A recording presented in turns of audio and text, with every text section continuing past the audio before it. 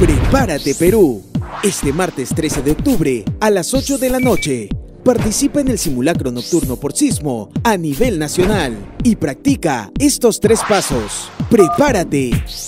Ten lista tu mochila para emergencias y pon en práctica tu plan familiar.